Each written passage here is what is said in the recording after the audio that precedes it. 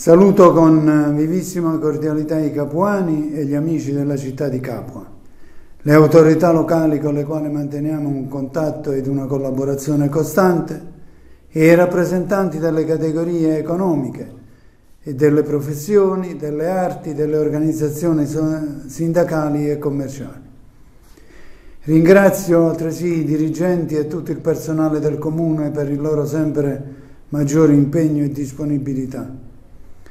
Lo scopo di questo incontro, ancorché a distanza, è quello di tracciare un breve bilancio di questi primi mesi di attività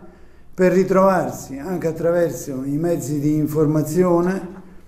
e scambiarsi ancora gli auguri con tante persone con le quali si è lavorato lungo il corso dell'anno. Così anche con gli esponenti del mondo dell'arte, della cultura, della musica, che hanno dato lustro a Capua, anch'essi espressione delle grandi risorse e delle eccellenze che questo territorio vanta in tanti settori. Il parlare con voi oggi non vuole avere un carattere autoreferenziale e non vuole essere un discorso per addetti ai lavori o un evento per pochi notabili locali.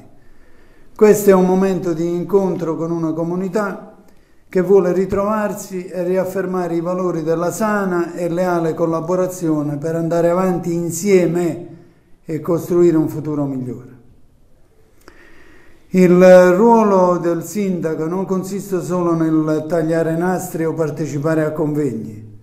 ma nell'avere un'attenzione costante e sottolineo costante alla situazione locale, al comune sentire della gente, quella gente che vorrei incontrare da vicino ogni giorno, ma che gli impegni di verifica da vicino della macchina amministrativa mi impediscono. E questo non per farsene condizionare, ma per meglio corrispondere alle effettive esigenze del territorio. In tal senso, indispensabile è la collaborazione con le altre istituzioni, gli enti e le associazioni, espressione della società civile, e la disponibilità e lo spirito di servizio dei responsabili in ogni settore della vita pubblica. Il Comune deve assicurare che la struttura organizzativa funzioni, che l'ente sia forte ed autorevole, che le regole della vita civile siano vissute e rispettate, i diritti dei cittadini riconosciuti e non sostituiti da reti protettive, familistiche o peggio ancora della criminalità organizzata. Ci stiamo pertanto costantemente adoperando affinché vengano superate le indolenze, la superficialità, il disimpegno e a volte anche la complicità che possono annidarsi anche in qualche ufficio pubblico, affinché i servizi vengano correttamente ed efficacemente resi ai cittadini, i controlli vengano effettuati e le tutele vengono assicurate. L'aver tenuto in piedi un'amministrazione formatasi con le elezioni del giugno del 2016 è stato di per sé un risultato importante. Si sono superati i momenti di acuta tensione, gli imprevisti, alti e bassi nelle vicende di maggioranza e di governo. Si è in sostanza evitato di confermare quella immagine di una capo instabile che tanto ci penalizza e si è messo in moto, nonostante i continui agguati, l'annunciato indispensabile processo di cambiamento. Ancorché io debba riconoscere di non aver dato per tempo ed in modo convincente i risultati concreti ottenuti, con impegno forse poco vistoso e reclamizzato, ma tuttavia paziente ed instancabile, avendo privilegiato il linguaggio dei fatti a quello delle parole.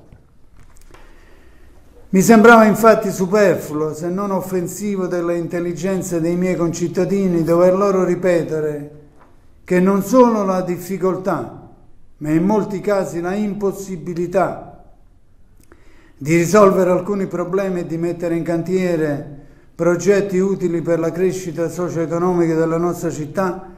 è legata all'ingente debito ereditato dalla precedente amministrazione e che mi auguro possa essere progressivamente estinto. Credo invece, e non è motivo polemico, che sia offensivo per la sensibilità dei capuani accusare di immobilismo questa amministrazione da parte di coloro che con la loro pessima gestione del potere, anziché chiedere scusa ai nostri cittadini, si permettono di accusare di disimpegno chi sta cercando, senza ulteriori oneri e aggravi per le finanze della città, assicurare i servizi primari, l'erogazione delle spese ordinarie, di fare dei passi concreti per ottenere dallo Stato e dalla Regione interventi tempestivi ed efficaci per venire incontro alle più significative emergenze. E qui voglio almeno citare la grave e persistente situazione del Museo Campano. E così abbiamo realizzato l'obiettivo primario di questa amministrazione costituito dal risanamento finanziario dell'ente. È un dato di fatto che il comune di Capua si trova in uno stato di dissesto finanziario dall'anno 2013, con una, passa, una massa passiva di oltre 27 milioni di euro, con, per l'esattezza 27 milioni 968 mila 512 euro. Amministrare un ente in dissesto significa dover soggiacere a molti vincoli di legge al punto che la stessa programmazione è resa estremamente difficile. Si pensi all'obbligo di mantenere le tariffe al massimo livello, alle restrizioni sulla pianta organica e le conseguenti non possibili nuove assunzioni nonostante siano rese necessarie dai pensionamenti. Si pensi al pagamento della massa passiva che con la normativa attuale deve essere affrontata con il bilancio dell'ente. A tanti limiti si aggiungono i tagli progressivi dei trasferimenti statali, i vincoli della finanza pubblica, l'obbligatorietà della previsione del fondo crediti di dubbia esigibilità. Ma tornando all'obiettivo primario del risanamento finanziario, questa amministrazione dovrà dunque affrontare innanzitutto il finanziamento dell'anticipazione per l'estinzione della massa passiva di cui al decreto del giugno del 2016, che richiederà la previsione di un bilancio già dall'anno 2016 di 300.000 euro e oltre per ben 20 anni. Si pensi che cosa si sarebbe potuto programmare con tali somme. Si sarebbero potuti destinare tali importi all'estensione anticipata dei mutui della Cassa dei Prestiti, con l'alleggerimento del bilancio corrente e il miglioramento degli equilibri di bilancio. Oppure si sarebbero potuti destinare le stesse somme a favore degli interventi di investimento o ancora per promuovere progetti di carattere sociale e culturale e per il rilancio così della nostra città. E invece no, questi servizi non solo non sono stati realizzati nel passato, un passato che ha fatto registrare progressivi segnali di regresso, oggi rilevabili ad occhio nudo, ma molti benefici risultano essere stati negati ai figli di una generazione a venire che oltre alle difficoltà congiunturali dovranno pagare pure gli errori dei loro padri. Ma tanto non basta far doverosamente tacere gli artefici di tanto disastro e che ora improvvisamente sono diventati virtuosi, negando i diritti degli altri, mentre i loro sono stati lautamente soddisfatti, maggiormente nei periodi di gravi crisi che per questo richiedeva un'azione di responsabilità a favore dell'ente martoriante. Eppure, i responsabili di tanto disastro hanno ancora l'impudenza di atteggiarsi a tutore della pubblica moralità. Per questo è di necessità la vera programmazione di questa amministrazione è diventata l'azione di risanamento finanziario. È questa amministrazione che dovrà per prima affrontare le difficoltà a trovare le risorse per il finanziamento del debito, per l'estinzione del dissesto che costituisce una priorità assoluta. Eppure, nonostante le grandi difficoltà, questa amministrazione è riuscita già in fase di approvazione del bilancio 2017-2019 a prevedere le risorse necessarie nel 2018 e nel 2019. Nel contesto di un tale disastro, questa amministrazione ha realizzato però l'internalizzazione dei tributi maggiori che darà finalmente, finalmente la possibilità di gestire direttamente le proprie entrate principali, consentendo al cittadino capuano di relazionarsi direttamente con il comune, senza intermediari e potendo così conseguire con maggiore velocità e definitivamente la propria posizione tributaria. La politica delle chiacchiere non piace né a me né tantomeno ai cittadini. Quindi vogliamo parlare con i fatti. Con propria delibera di giunta il comune di Capua, in un progetto che vede la partecipazione di altri 14 comuni, ha approvato qualche giorno fa la perimetrazione del distretto turistico dell'Appia Antica. È un'iniziativa questa che ha già riscosso il parere favorevole dell'assessorato al turismo della regione Campania e che ha per finalità quella di creare le condizioni amministrative, infrastrutturali ed economiche per trasformare l'area interessata, compreso quindi il territorio di Capua, in un vero elemento di attrazione turistica. La Giunta municipale, sempre in merito all'importantissimo settore della cultura e del turismo, ha altresì approvato la proposta progettuale esecutiva relativa al Carnevale di Capo ed il relativo piano finanziario utilizzando il piano della campagna 2014-2020 ed in particolare l'avviso pubblico di selezione riguardando il programma giugno 2017-maggio 2018, sezione iniziative promozionali sul territorio regionale, grazie al quale avrà un importante introito di 40.000 euro. Negli ultimi anni, nel corso delle pregresse amministrazioni, la Kermesse, di cui è stata pure saltata un'edizione fortunatamente salvata dal nostro concittadino Franco Fierro, non è mai stata organizzata con così largo anticipo. Il comune di Capua ha anche stipulato con l'Università degli Studi della Campania Luigi Vanvitelli uno schema di convenzione regolante i rapporti per la gestione dei tirocini di formazione e di orientamento. Restano a carico dell'università soltanto gli oneri assicurativi. La giunta municipale ha accolto con propria delibera il progetto, quindi per far eh, svolgere fino a un massimo di tre studenti i succedati tirocini di formazione e di orientamento presso il Comune di Capo. Per quanto riguarda il settore tecnico saranno stanziati, finalizzati ad interventi di edilizia scolastica in favore della scuola media Ettore Fieramosca, oltre 389 mila euro da parte della Regione Campania. È stata anche realizzata la manutenzione degli impianti elettrici di illuminazione e servizi igienici, oltre a diversi lavori di adeguamento in sicurezza strutturale della scuola elementare in via Martiri di Nassiria. Dopo anni di inattività amministrativa è stata risolta la questione relativa al ponte nuovo sul Volturno, è stata rinnovata la convenzione con la stazione unica appaltante ferma da tre anni è in fase di realizzazione un bando per l'assegnazione dell'intervento di messa in sicurezza della struttura fluviale in attesa di altri finanziamenti che consentiranno il suo totale recupero. Sono finalmente ripresi dopo diverso tempo i lavori previsti a Rione Carlo Sant'Agata per il contratto di quartiere, la cui ultimazione è prevista nei prossimi mesi. È stata individuata dopo anni di allagamenti, di servizi e disagi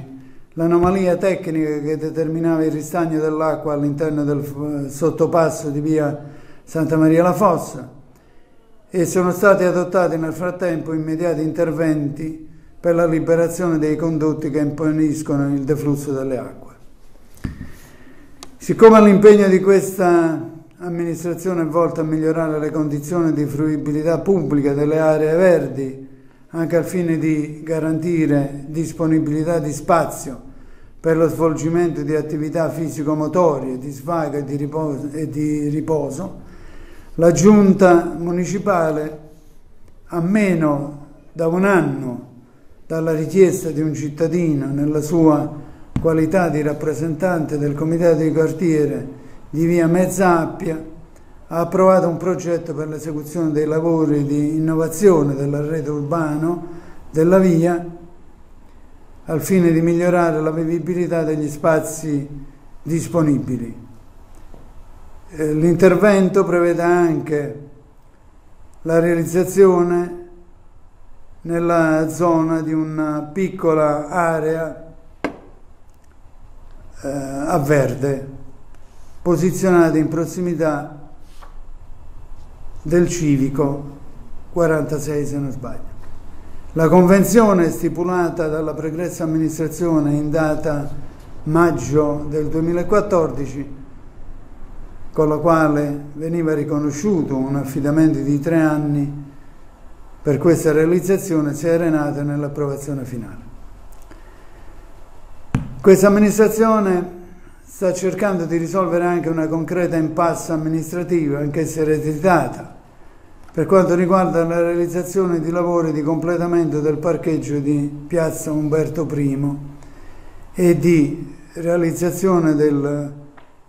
monumento bronzeo eh, Fieramosca Infopoint. A seguito di una richiesta di chiarimenti in ordine alla legittimità di tutti gli atti adottati nel corso della precedente gestione consiliare, il MIBACT, a riscontro dell'istanza, ha comunicato che i, i lavori eseguiti avevano modificato i caratteri architettonici della piazza, riconosciuti di interesse culturale, eh, pertanto le modifiche apportate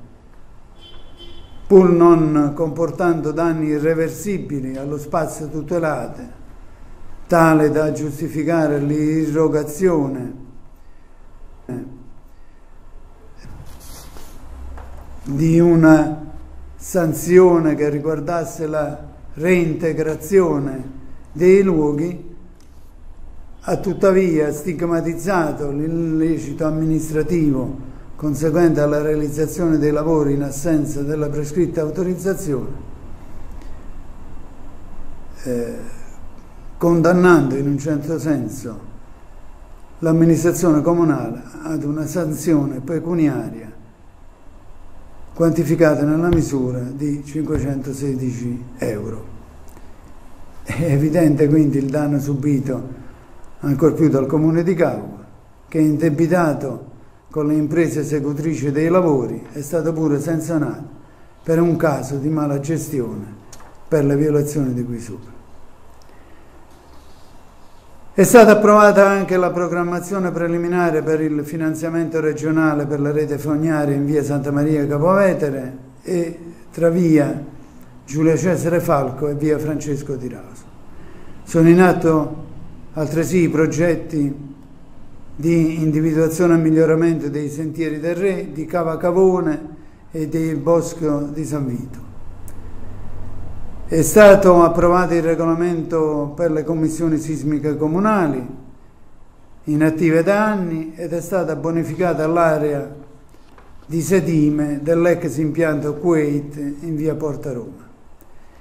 In ordine al welfare e alle politiche sociali, al fine di implementare in sede locale le misure di sviluppo economico promosse dall'Unione Europea per promuovere le attività di informazione tecnica sui principali bandi di finanziamento europei, il Comune di Capo ha strutturato lo sportello Capo in Europa che opera al servizio dell'amministrazione, delle imprese e delle fasce giovanili per migliorare lo sviluppo e l'internalizzazione del territorio. Eh, iniziative che ovviamente non esisteva precedentemente. Il comune di Capua, altresì in sinergia con forze politiche e sodalizie del territorio, ottenendo un finanziamento di 80.000 euro, ha espresso la propria adesione ad un consistente avviso pubblico regionale relativo al progetto Benessere Giovani Organizziamoci. L'iniziativa in attuazione della legge regionale 20, numero 26 del 2016 è destinata a supportare i partenariati tra soggetti pubblici, associazioni giovanili e altri soggetti senza scopo di lucro, nonché imprese mediante eh, l'utilizzo di spazi pubblici multifunzionali. Il progetto riguarda i giovani con età compresa tra i 16 e i 35 anni che vogliono sviluppare con il partenariato dei comuni le proprie attitudini artistiche e creative. L'amministrazione punta a realizzare attraverso progetti un centro socio-assistenziale aperto alle fasce più deboli ed una casa delle associazioni che possa raccogliere e far maturare le esperienze e le potenzialità dei sodalizi del territorio. I giovani hanno potuto beneficiare altresì anche del progetto Campus Estivo 2017. Un'attenta politica di welfare ha inoltre impedito che la città di Capua si trasformasse in un'enorme tendopoli di richiedenti asili e di rifugiati. Con il progetto SPRAR il Comune Può oggi ospitare un numero limitato di stranieri che sono formati ed integrati in comunità. Molti di essi, di concerto con gli uffici comunali, svolgono attività di sussidio alle azioni manutentive del territorio. Il comune di Capua, con delibera di giunta, farà parte del parco urbano intercomunale del Monte di Fata in prospettiva della riqualificazione delle aree boschive protette in funzione del suo potenziale collegamento con il parco regionale del Partenio, del Taburno, del Monte Maggiore in una condizione di continuità con il parco urbano intercomunale della Dea Diana. Puntiamo Infine, non ultimo, ma una delle cose che ci proponiamo con molta decisione, di approvare il PUC, il piano urbanistico comunale, e di valorizzazione, di valorizzare senz'altro il Museo Campano, riappropriandoci delle nostre importanti tradizioni. Ci sono tante iniziative in cantiere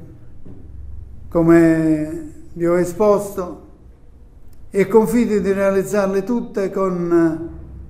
oggettiva praticità e concretezza, lontano dalle sterili, pretestuose e talvolta livorose polemiche e comunque sempre con la massima apertura a forme di dialogo civile e democratico nel rispetto delle rispettive posizioni e nel riconoscimento dei ruoli assunti. Vi ringrazio e vi auguro un felice e prospero 2018. Grazie.